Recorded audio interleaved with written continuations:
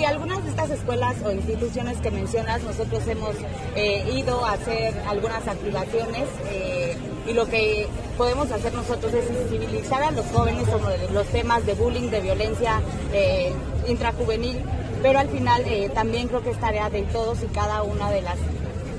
instituciones, en este caso también que, que acepto medidas, también